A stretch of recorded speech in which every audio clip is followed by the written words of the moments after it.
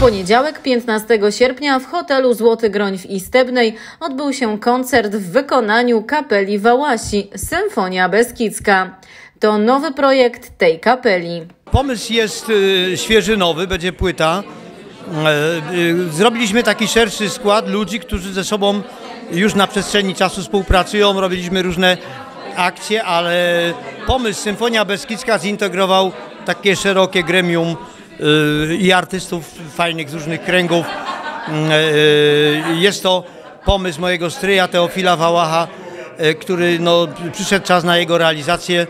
Będziemy, y, montujemy się z płytą na listopad, będzie myślę bardzo ładna płyta.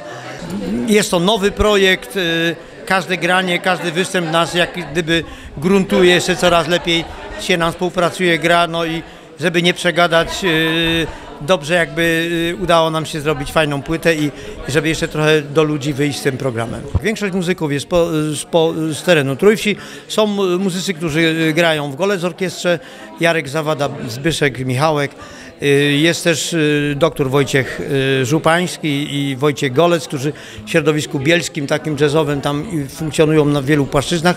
Jest bardzo dobry pianista. Jest też Joachim Mencel, znany krakowski muzyk, który dzisiaj nie mógł akurat być, ale, ale, ale angażujemy w to muzyków różnych kręgów, ponieważ ta muzyka, która się rodzi i tworzy, ona też jest nie, jak gdyby nie, no, nie ułożona w ten sposób, że każdy po prostu musi jakąś swoją rolę odegrać. Po prostu uwalniamy y, swoją wyobraźnię i każdy muzyk y, może zagrać właściwie swoje sekwencje wolno. Czyli jest to takie, można powiedzieć, improwizacja. Jak nowa płyta, to i trasa koncertowa związana z jej promocją, zapowiada Zbyszek Wałach. Jest na pewno koncert promocyjny, który będzie konieczny. No, szykuje się, y, szykują się nam, szykuje się koncert w Krakowie, w Filharmonii Krakowskiej 18 y, października.